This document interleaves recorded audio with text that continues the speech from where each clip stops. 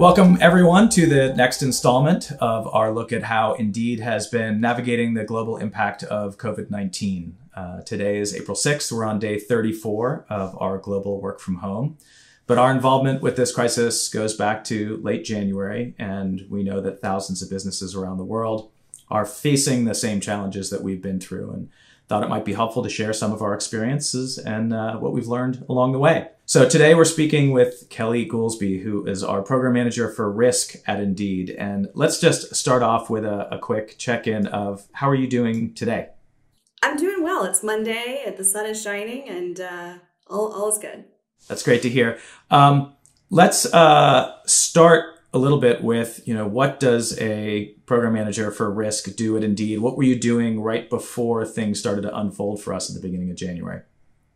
So, program manager, uh, the program manage uh, office that I'm in is that we're building large cross-functional enterprise level um, initiatives for Indeed. And so specifically, I was looking at business resiliency, which includes crisis management, business continuity, incident response.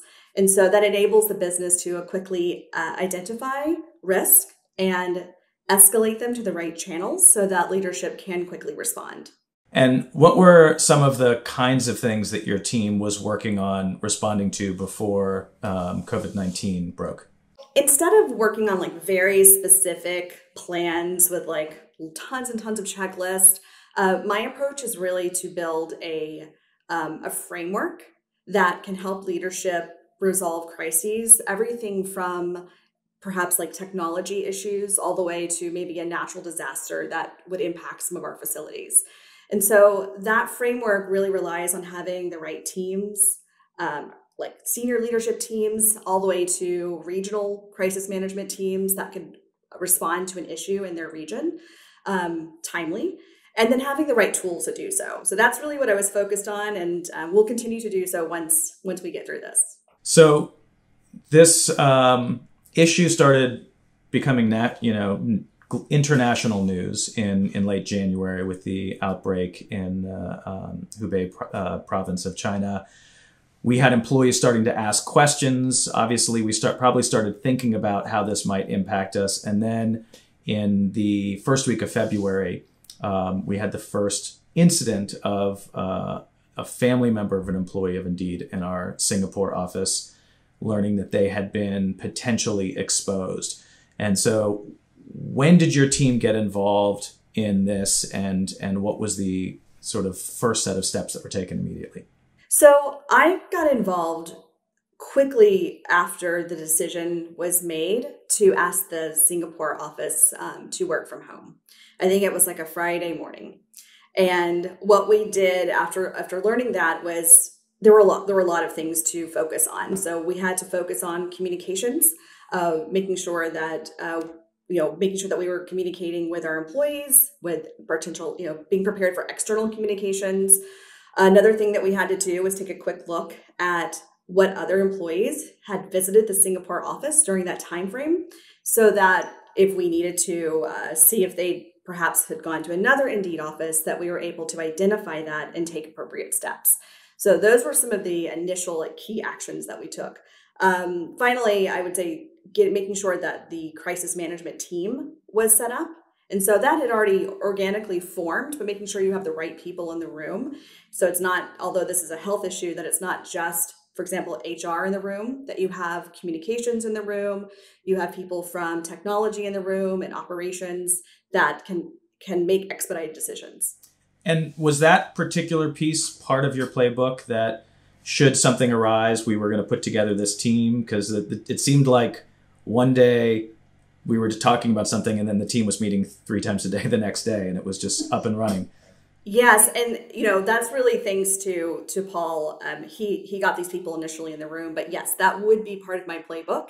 Is that these people already know that they would be in these roles before a crisis happens and receive training so that you're able to quickly form you know what to do you know what tools you're going to use you know how you're going to communicate but yeah that's that's part of the playbook so starting with that first uh, potential exposure in singapore can you just walk a little bit through, you know, what did your team do to uh, adapt to just the speed of change? Because you know we we saw looking at that Singapore office how many people had visited other offices and then office by office as things spread literally day by day um, there were you know new pieces of information coming up. We had to react. We had to make decisions. We had to to, to share those decisions with the company. How, how did you sort of navigate through those first few weeks?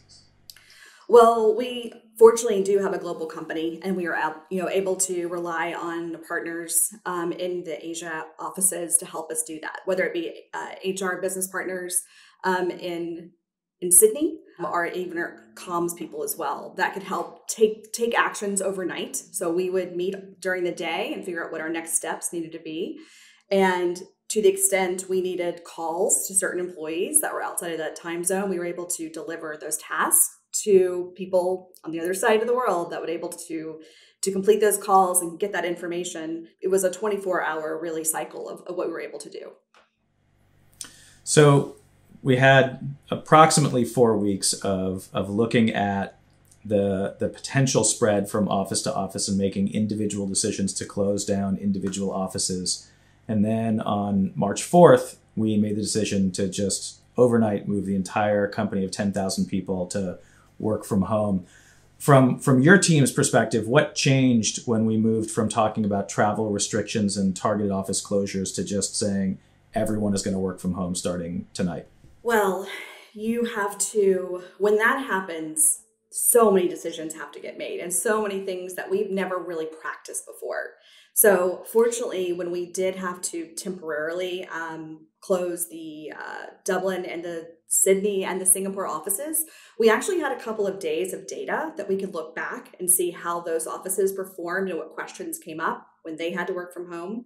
So we were able to go ahead during that time period um, leading up to the, the decision for everyone to work from home. We were able to really focus our efforts and understanding what what gaps did we have, what gaps, how we were able to close those, and start making plans to the extent you know other offices would have to close what how we could work around that. So it really we, it didn't really slow down for us. In fact we really did speed up the planning leading up to the to everyone working from home so that you know we could we could try to do that as as easily as possible. Um, even so there are always going to be things that you didn't think about that you have to you have to spin up new processes new new ways of doing things pretty quickly so uh, Paul Wolf, who you mentioned before, uh, Indeed's SVP of HR, Paul and I had a conversation about this on Friday, and one of the things for both of us was that to some degree, um, that decision and starting the next day when everyone was home,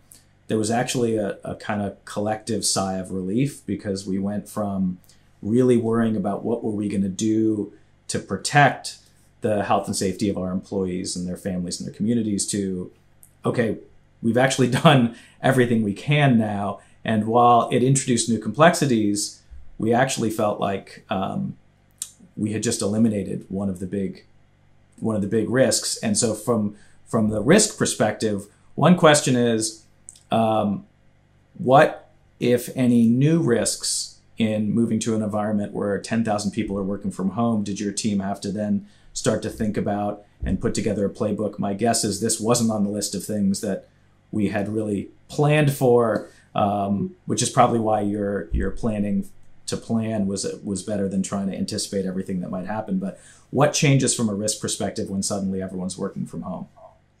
So there's a couple of things that you have to to think about. One is uh, cybersecurity. So if people are working from home, are they doing that using safe tools? Um, because we un- we understand that when there are crises, this is not just unique to Indeed. When there are crises, there is enhanced risk uh, for for that for for fraudulent actions, for um, hacking and phishing. So that's that's something that we had to make sure the IT security team was on guard and and you know ready to go. Um, there's also a risk of absenteeism um, because if you have people at home, either you know, they might be having to care for someone else um, once the schools were closed, and people weren't able to actually like, you know, they're they're now having to homeschool their their children as well as work. And so, what does that do for for the core work and answering those questions and getting ahead of it and working with leadership um, on creating guidelines on how to do that? So the risk did change it did change, but it was it was more of like just being sure that we could continue to work, that our business could continue to operate. So, what has um, changed for you personally in the working from home in terms of your your day to day, but also your interactions with your team and with all the people who you have to partner with in this work? Probably just like everybody else, lots of Zoom calls, um, lots of uh, lawnmower like there's a you know lots of strange noises that are around all the time that you can't control and that's okay. Yeah i it's it was actually a pretty easy transition. Um, i have been pleasantly surprised how resilient i feel like people have become. Um, the culture i think really did that was the culture and indeed while we were working together and it really did transcend to working from home. I really experienced that collaborative effort. Uh, people really rising to the challenge, whether it be creating um, guidelines for parents at home or, you know, fun games or social media channels or, you know, show me pictures of your dogs. It's just, it really was, it's a very resilient culture. And I appreciate that. What helped you prepare for something like this? Because this is clearly something that's not, not only has Indeed not been through this, but no one has been through something quite like what's going on right now. Well, I have had a lot of experience working in dynamic, fast paced um, situations where you don't always have all the information that you want. And for me, what's worked is staying calm, understanding what's in front of us, what decisions need to be made, what kind of data do we need, and just methodically helping the team go through the decisions um, and not having tons of time to spend on decision making and just just moving us forward one step at a time. And even even then though, this was you're right, this is something I've never experienced, never planned for, no one else on the team had, but um, we just knew that we had to get through it. So now that we've uh, not that we've really had a chance to breathe, but that we've had a little bit of distance from from some of the early stuff, is there anything looking back? Um, and I'm sure there will be hundreds of post-mortems that we're going to do through this process. Anything that if if you today could talk to to Kellie February seventh, you know, anything that you would do differently, any advice, anything that you might have approached with a with a different perspective. Yes, like you said, there there's going to be tons of changes as a result of this. We actually did pause early on and we did a quick retrospective actually the uh, the second week of February on the crisis team. We took a moment. It was actually like about 2 hours and sat down and methodically worked through okay what what didn't work what did work. Uh, as a result uh, we did some um, changes to uh, communications. We got a bit more organized with how we were tracking information. Um, so we did do that. I expect it will happen again. Um, other than that really you the planning piece is so important. Um, not you know waiting until a decision is obvious to make that decision is too late. And so being able to plan when the sun is shining and get data that you know that you're going to need in a certain situation and, and having reports ready to go so that you can uh, you can make decisions based on on real data is is something that I would love for us to get better at. So um, you know at the start talked about the fact that every business right now is having to deal with how do we operate uh, in an environment like this. And we were pretty early on in making some of these decisions. So some companies now, there are still, uh, at least as of this weekend, eight states that don't have official uh, stay-at-home orders. So there are companies that still haven't made that transition that are going to. What advice would you have for them that obviously they can't go back and do a year of planning and preparing for this if you were just finding out today that this is something that your company might be facing? What's what are some of the practical things that you would you would advise? I would give them three ideas. One develop your your your guidelines early. What what is what is your approach going to be? For us that was the health and safety of our employees and our community. That will help you make decisions later on when they get tricky. So you can always point back to that. Whatever it may be. Two overly communicate. The way and methods that you would communicate when you're not into a crisis not in a crisis, they don't work when you're in a crisis. You need to up that. You need to provide more information, understanding that you may not always have all the information, but providing places for your employees to go, whether that be FAQs or uh, enhanced Q&As with executives so that employees feel like they're getting the like answers to their questions and that their leaders are thinking about questions or topics that may come up. And then finally, making sure you have a cross functional team that is ready to go, that is also, um, I would say, at a at a certain seniority level so that they can make decisions and execute those decisions pretty quickly. There's been a lot of talk about how changing the way that we work as a as a result of this and and certainly things that are completely out of the realm of what you might expect cropping up. Um, what do you think will change coming out of this when we get to whatever the other side of this looks like when when people start going back to to work? Um, what what do you think will change at Indeed, and what do you think might change for other companies in terms of what we've learned from this experience? Well, I, I think the uh, the obvious one is that we are able to work from home. Um, I think that is going to change the nature of work. I think it's it's pretty exciting, um, given if if we if we take this reality that we can work from home, we have the tools to work from home. Then, as companies are making decisions about new hires, for example, you might not be limited to um, a pool of candidates just in your town.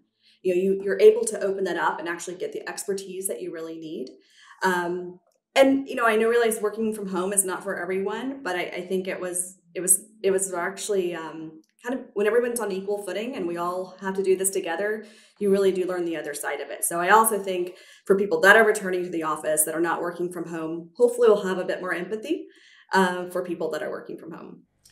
Great. Well, um, thank you so much for your time, Kellie. And you know, one of the things about your role, there's a, a, a lot of people who do jobs where um, when nothing is going wrong, you might not appreciate what that role is. And this is one of those things where, uh, you know, I think you were you were one of the folks early on who who kind of came to me and Dave and said, "This is something that we need to be ready for. We're not doing any of it."